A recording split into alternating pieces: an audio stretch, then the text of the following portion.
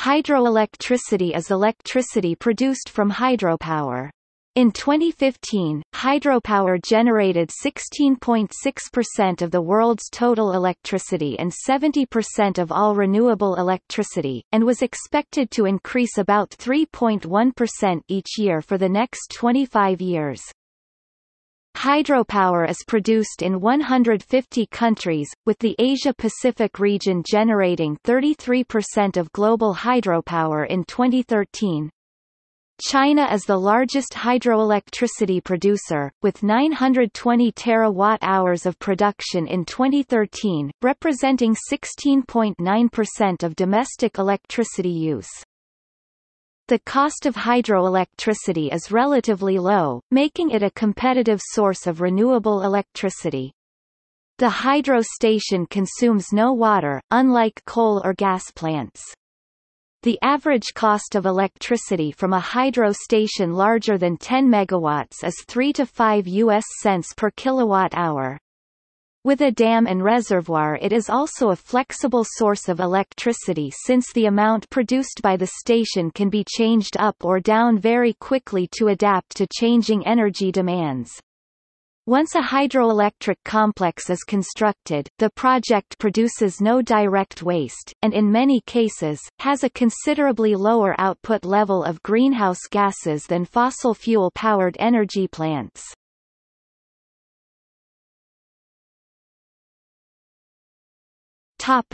History. Hydropower has been used since ancient times to grind flour and perform other tasks. In the mid-1770s, French engineer Bernard Forest de Bélidor published Architecture hydraulique which described vertical and horizontal axis hydraulic machines. By the late 19th century, the electrical generator was developed and could now be coupled with hydraulics. The growing demand for the Industrial Revolution would drive development as well. In 1878 the world's first hydroelectric power scheme was developed at Cragside in Northumberland, England by William Armstrong. It was used to power a single arc lamp in his art gallery. The old Schoellkopf Power Station No. 1 near Niagara Falls in the U.S. side began to produce electricity in 1881. The first Edison hydroelectric power station, the Vulcan Street plant, began operating September 30, 1882, in Appleton, Wisconsin, with an output of about 12.5 kilowatts. By 1886 there were 45 hydroelectric power stations in the U.S. and Canada. By 1889 there were 200 in the U.S. alone. At the beginning of the 20th century, many small hydroelectric power stations were being constructed by commercial companies in mountains near metropolitan areas. Grenoble, France held the International Exhibition of Hydropower and Tourism with over 1 million visitors. By 1920 as 40% of the power produced in the United States was hydroelectric, the Federal Power Act was enacted into law. The act created the Federal Power Commission to regulate hydroelectric power stations on federal land and water. As the power stations became larger, their associated dams developed additional purposes to include flood control, irrigation and navigation. Federal funding became necessary for large-scale development and federally owned corporations, such as the Tennessee Valley Authority 1933 and the Bonneville Power Administration 1937 were created. Additionally, the Bureau of Reclamation which had begun a series of western U.S. irrigation projects in the early 20th century was now constructing large hydroelectric projects such as the 1928 Hoover Dam. The U.S. Army Corps of Engineers was also involved in hydroelectric development, completing the Bonneville Dam in 1937 and being recognized by the Flood Control Act of 1936 as the premier federal flood control agency. Hydroelectric power stations continued to become larger throughout the 20th century. Hydropower was referred to as white coal for its power and plenty. Hoover Dam's initial 1,345 MW power station was the world's largest hydroelectric power station in 1936. It was eclipsed by the 6,809 MW Grand Coulee Dam in 1942.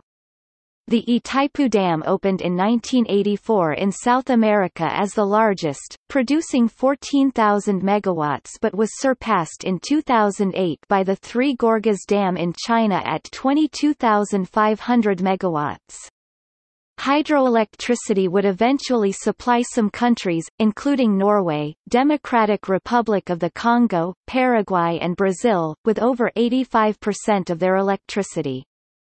The United States currently has over 2,000 hydroelectric power stations that supply 6.4% of its total electrical production output, which is 49% of its renewable electricity.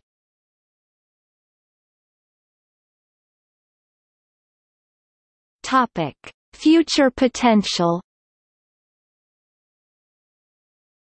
The technical potential for hydropower development around the world is much greater than the actual production. The percent of potential hydropower capacity that has not been developed is 71% in Europe, 75% in North America, 79% in South America, 95% in Africa, 95% in the Middle East, and 82% in Asia Pacific. The political realities of new reservoirs in Western countries, economic limitations in the Third World and the lack of a transmission system in undeveloped areas, result in the possibility of developing 25% of the remaining technically exploitable potential before 2050, with the bulk of that being in the Asia-Pacific area. Some countries have highly developed their hydropower potential and have very little room for growth. Switzerland produces 88% of its potential and Mexico 80%.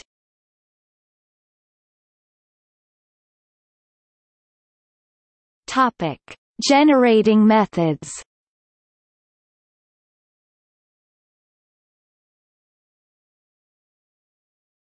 Topic: Conventional dams. Most hydroelectric power comes from the potential energy of dammed water driving a water turbine and generator. The power extracted from the water depends on the volume and on the difference in height between the source and the water's outflow. This height difference is called the head. A large pipe the penstock delivers water from the reservoir to the turbine.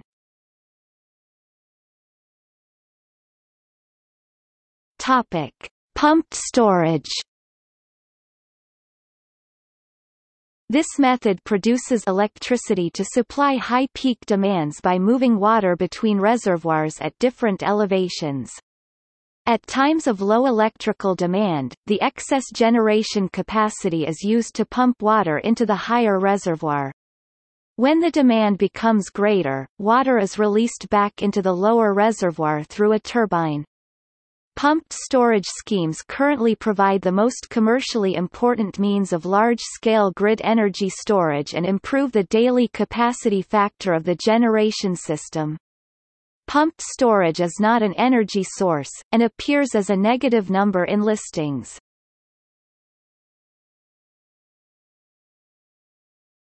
Topic.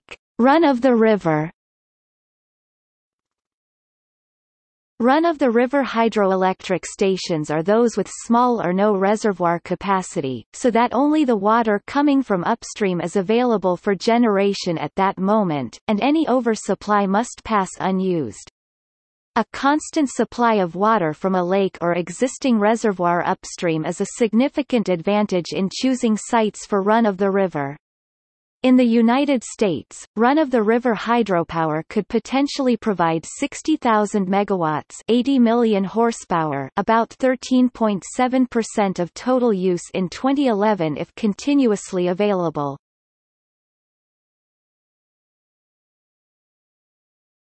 Topic. Tide A tidal power station makes use of the daily rise and fall of ocean water due to tides. Such sources are highly predictable, and if conditions permit construction of reservoirs, can also be dispatchable to generate power during high demand periods. Less common types of hydro schemes use water's kinetic energy or undammed sources such as undershot water wheels. Tidal power is viable in a relatively small number of locations around the world. In Great Britain, there are eight sites that could be developed, which have the potential to generate 20% of the electricity used in 2012.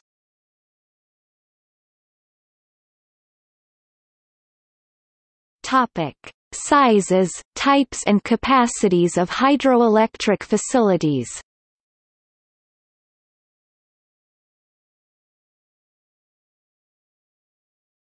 Topic: Large facilities. Large-scale hydroelectric power stations are more commonly seen as the largest power-producing facilities in the world, with some hydroelectric facilities capable of generating more than double the installed capacities of the current largest nuclear power stations. Although no official definition exists for the capacity range of large hydroelectric power stations, facilities from over a few hundred megawatts are generally considered large hydroelectric facilities. Currently, only four facilities over 10 gigawatts 10,000 megawatts are in operation worldwide, see table below.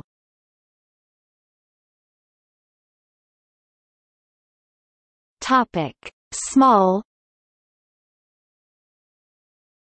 Small hydro is the development of hydroelectric power on a scale serving a small community or industrial plant. The definition of a small hydro project varies but a generating capacity of up to 10 megawatts MW is generally accepted as the upper limit of what can be termed small hydro. This may be stretched to 25 megawatts and 30 megawatts in Canada and the United States. Small-scale hydroelectricity production grew by 29% from 2005 to 2008, raising the total world small hydro capacity to 85 gigawatts. Over 70% of this was in China 65 gigawatts, followed by Japan 3.5 gigawatts, the United States 3 gigawatts, and India 2 gigawatts. Small hydro stations may be connected to conventional electrical distribution networks as a source of low-cost renewable energy. Alternatively, small hydro projects may be built in isolated areas that would be uneconomic to serve from a network, or in areas where there is no national electrical distribution network. Since small hydro projects usually have minimal reservoirs and civil construction work, they are seen as having a relatively low environmental impact compared to large hydro. This decreased environmental impact depends strongly on the balance between stream flow and power production.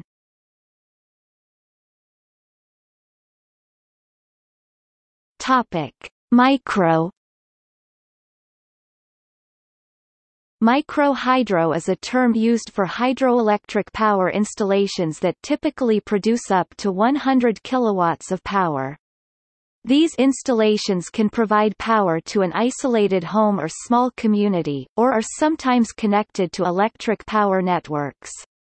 There are many of these installations around the world, particularly in developing nations as they can provide an economical source of energy without purchase of fuel.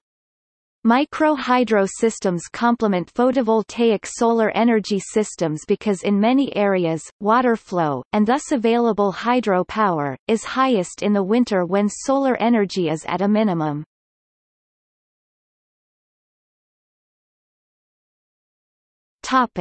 Pico Pico hydro is a term used for hydroelectric power generation of under 5 kilowatts. It is useful in small, remote communities that require only a small amount of electricity. For example, to power one or two fluorescent light bulbs and a TV or radio for a few homes. Even smaller turbines of 200 to 300 W may power a single home in a developing country with a drop of only 1 meter 3 feet. A Pico hydro setup is typically run-of-the-river, meaning that dams are not used, but rather pipes divert some of the flow, drop this down a gradient, and through the turbine before returning it to the stream.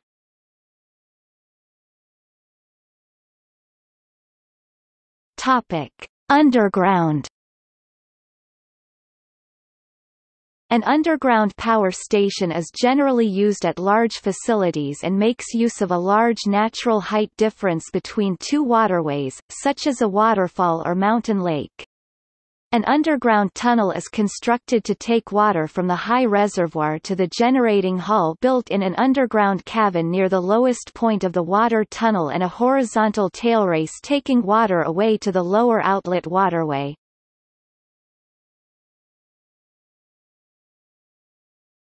Topic: Calculating available power.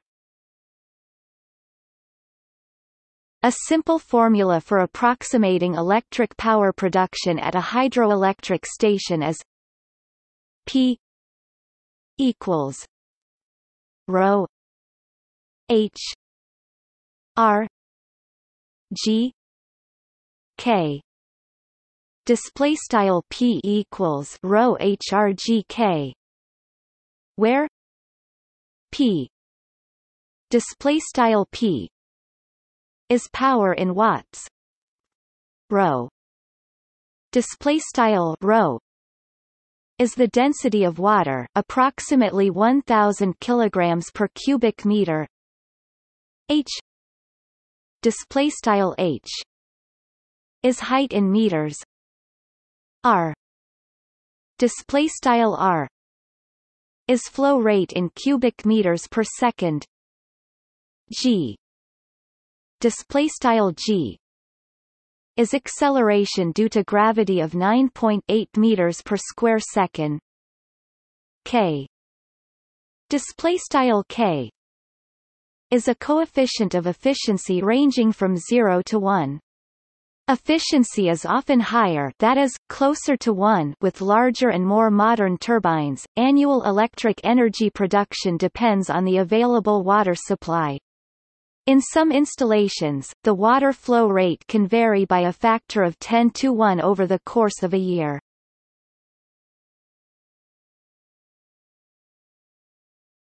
Topic. Properties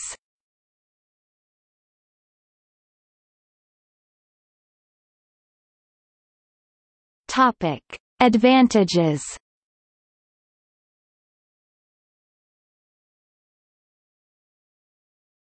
Topic: Flexibility.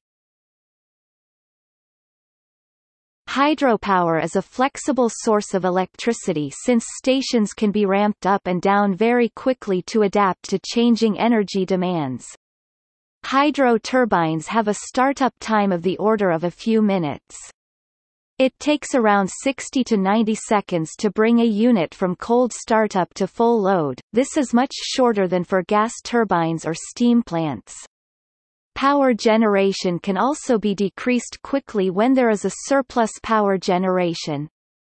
Hence the limited capacity of hydropower units is not generally used to produce base power except for vacating the flood pool or meeting downstream needs. Instead, it can serve as backup for non-hydro generators. Topic: Low cost, high value power.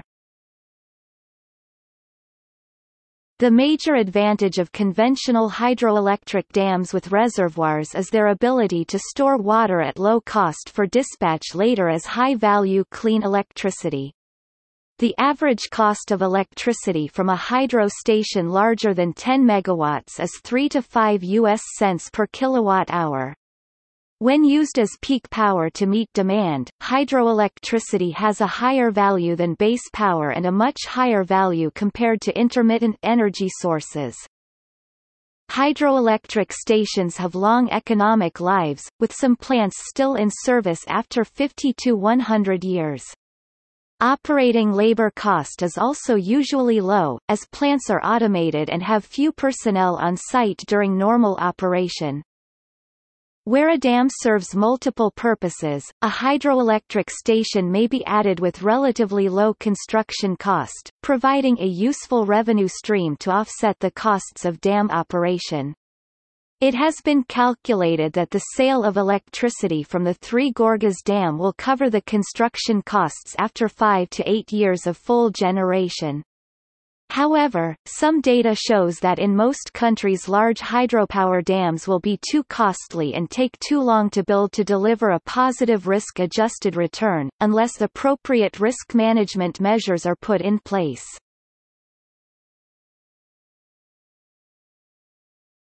Topic: Suitability for industrial applications. While many hydroelectric projects supply public electricity networks, some are created to serve specific industrial enterprises. Dedicated hydroelectric projects are often built to provide the substantial amounts of electricity needed for aluminium electrolytic plants, for example.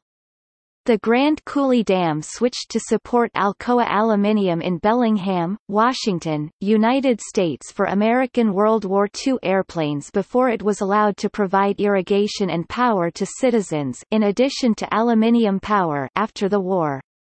In Suriname, the Brokopondo Reservoir was constructed to provide electricity for the Alcoa aluminium industry. New Zealand's Manapouri Power Station was constructed to supply electricity to the aluminium smelter at Tiwai Point.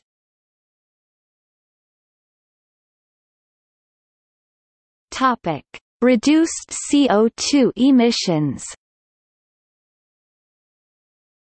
Since hydroelectric dams do not use fuel, power generation does not produce carbon dioxide. While carbon dioxide is initially produced during construction of the project, and some methane is given off annually by reservoirs, hydro generally has the lowest life cycle greenhouse gas emissions for power generation. Compared to fossil fuels generating an equivalent amount of electricity, hydro displaced 3 billion tons of CO2 emissions in 2011. According to a comparative study by the Paul Scherrer Institute and the University of Stuttgart, hydroelectricity in Europe produces the least amount of greenhouse gases and externality of any energy source. Coming in second place was wind, third was nuclear energy, and fourth was solar photovoltaic. The low greenhouse gas impact of hydroelectricity is found especially in temperate climates.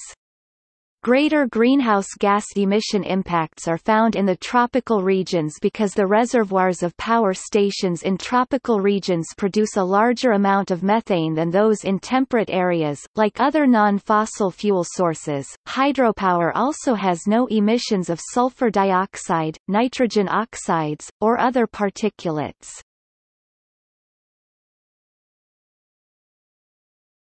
Topic: other uses of the reservoir Reservoirs created by hydroelectric schemes often provide facilities for water sports, and become tourist attractions themselves. In some countries, aquaculture in reservoirs is common. Multi-use dams installed for irrigation support agriculture with a relatively constant water supply. Large hydro dams can control floods, which would otherwise affect people living downstream of the project.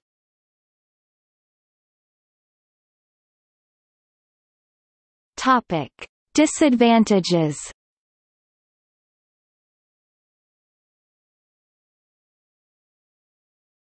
Topic: Ecosystem damage and loss of land.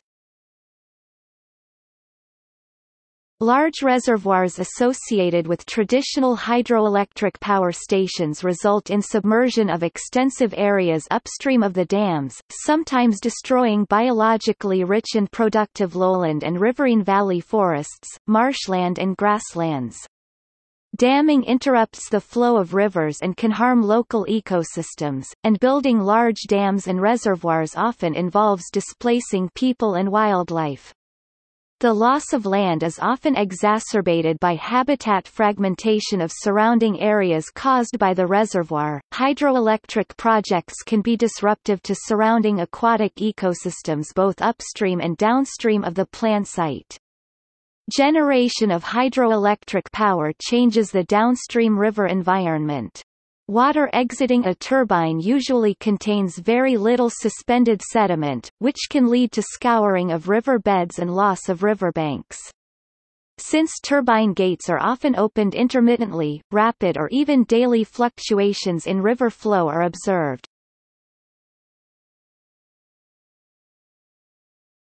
Topic: Water loss by evaporation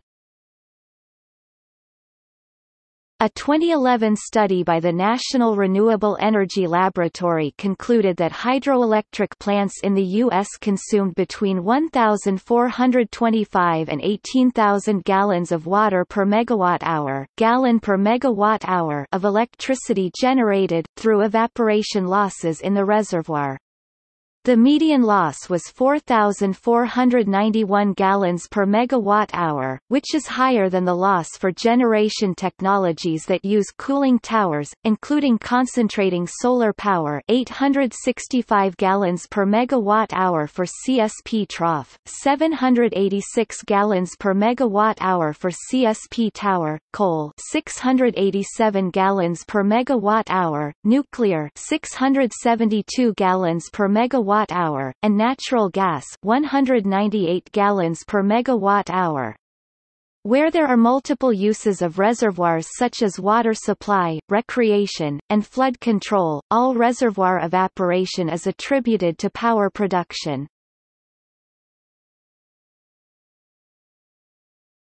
Topic: Siltation and flow shortage. When water flows it has the ability to transport particles heavier than itself downstream. This has a negative effect on dams and subsequently their power stations, particularly those on rivers or within catchment areas with high siltation. Siltation can fill a reservoir and reduce its capacity to control floods along with causing additional horizontal pressure on the upstream portion of the dam. Eventually, some reservoirs can become full of sediment and useless or overtop during a flood and fail. Changes in the amount of river flow will correlate with the amount of energy produced by a dam. Lower river flows will reduce the amount of live storage in a reservoir therefore reducing the amount of water that can be used for hydroelectricity.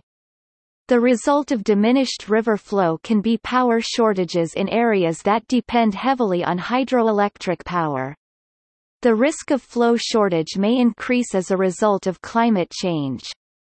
One study from the Colorado River in the United States suggests that modest climate changes, such as an increase in temperature in 2 degrees Celsius resulting in a 10% decline in precipitation, might reduce river runoff by up to 40%.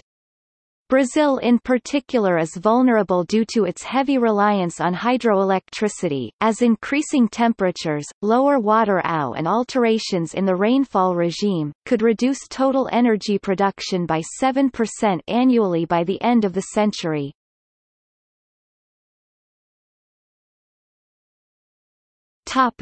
Methane emissions from reservoirs Lower positive impacts are found in the tropical regions, as it has been noted that the reservoirs of power plants in tropical regions produce substantial amounts of methane.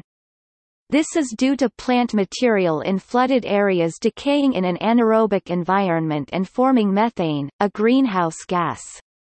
According to the World Commission on Dams report, where the reservoir is large compared to the generating capacity less than 100 watts per square meter of surface area and no clearing of the forests in the area was undertaken prior to impoundment of the reservoir, greenhouse gas emissions from the reservoir may be higher than those of a conventional oil-fired thermal generation plant. In boreal reservoirs of Canada and Northern Europe, however, greenhouse gas emissions are typically only 2% to 8% of any kind of conventional fossil fuel thermal generation. A new class of underwater logging operation that targets drowned forests can mitigate the effect of forest decay.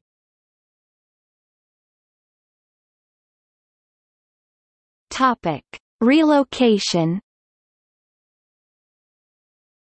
Another disadvantage of hydroelectric dams is the need to relocate the people living where the reservoirs are planned. In 2000, the World Commission on Dams estimated that dams had physically displaced 40 to 80 million people worldwide.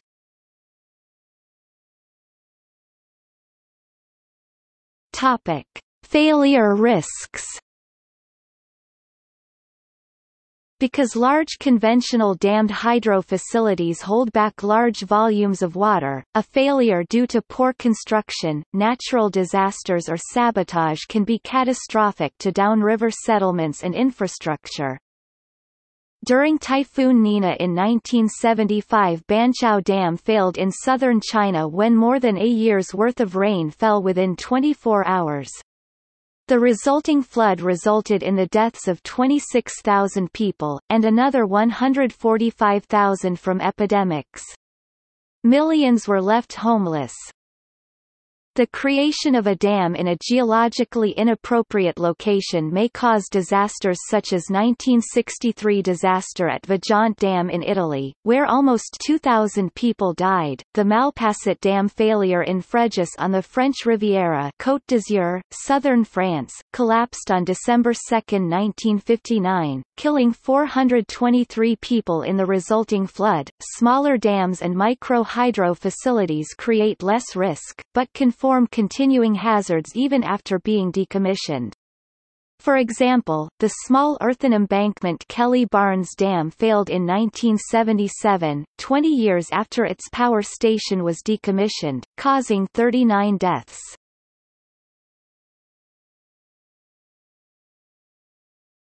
Topic.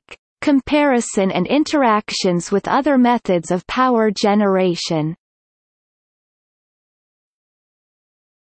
Hydroelectricity eliminates the flue gas emissions from fossil fuel combustion, including pollutants such as sulfur dioxide, nitric oxide, carbon monoxide, dust, and mercury in the coal.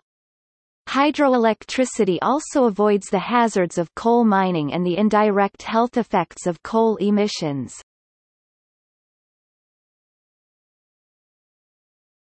Topic: Nuclear power Compared to nuclear power, hydroelectricity construction requires altering large areas of the environment while a nuclear power station has a small footprint, and hydropower station failures have caused tens of thousands of more deaths than any nuclear station failure.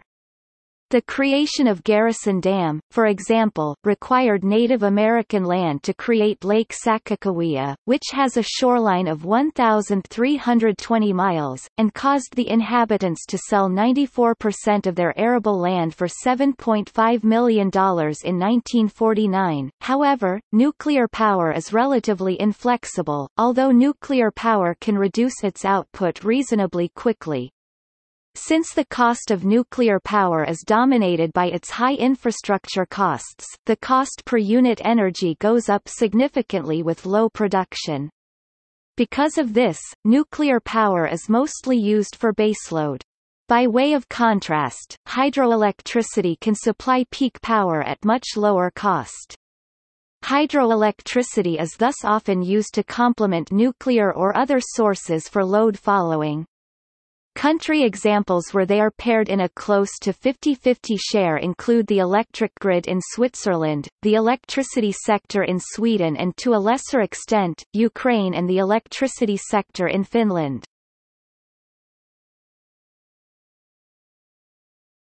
Topic: Wind power Wind power goes through predictable variation by season, but is intermittent on a daily basis. Maximum wind generation has little relationship to peak daily electricity consumption. The wind may peak at night when power isn't needed or be still during the day when electrical demand is highest. Occasionally weather patterns can result in low wind for days or weeks at a time. A hydroelectric reservoir capable of storing weeks of output is useful to balance generation on the grid. Peak wind power can be offset by minimum hydropower and minimum wind can be offset with maximum hydropower. In this way the easily regulated character of hydroelectricity is used to compensate for the intermittent nature of wind power. Conversely, in some cases wind power can be used to spare water for later use in dry seasons. In areas that do not have hydropower, pumped storage serves a similar role, but at a much higher cost and 20% lower efficiency.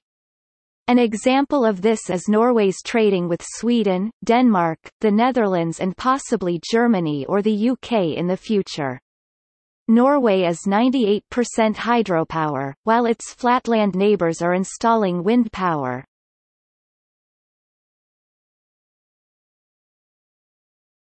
Topic: World hydroelectric capacity. The ranking of hydroelectric capacity is either by actual annual energy production or by installed capacity power rating. In 2015 hydropower generated 16.6% of the world's total electricity and 70% of all renewable electricity. Hydropower is produced in 150 countries, with the Asia-Pacific region generated 32% of global hydropower in 2010.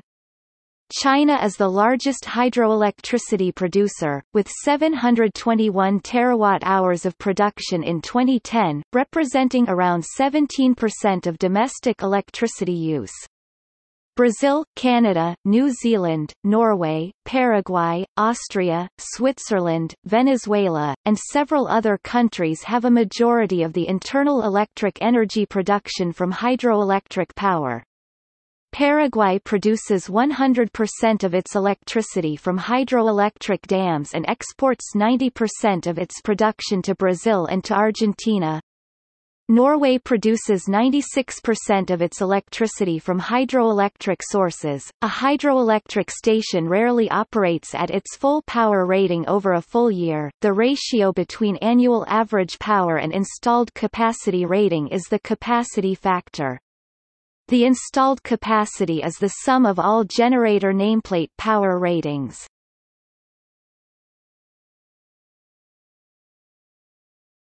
Topic Major projects under construction